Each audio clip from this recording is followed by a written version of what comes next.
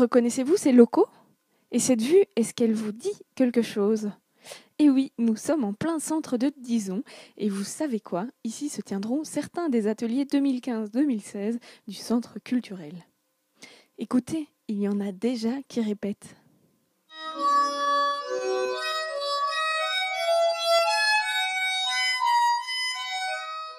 Bref, vous l'avez compris, des locaux tout beaux, tout neufs pour de nouveaux ateliers. On en profite et on vous présente deux de nos nouveaux-nés. L'atelier couture pour commencer. Donc je m'appelle Caroline Van Werst. Euh, j'ai étudié la couture à Sainte-Claire euh, donc pendant quatre ans et alors par la suite j'ai décidé de faire le stylisme euh, à Elmo Mode. Ben, j'ai envie de, pouvoir apprendre vraiment la couture proprement dite à d'autres personnes qui, sont motivées à apprendre mais aussi l'atelier Investir l'espace public qui, sous réserve d'autorisation, aura lieu rue des Fabriques à Dison. Voilà, je vous présente l'endroit où nous allons réaliser l'atelier Investir l'espace public avec l'art.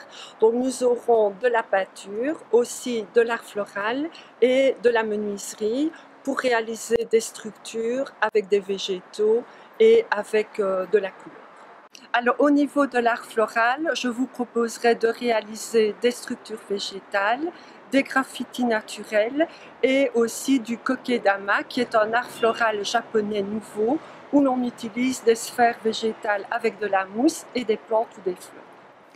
Mais ce n'est pas tout.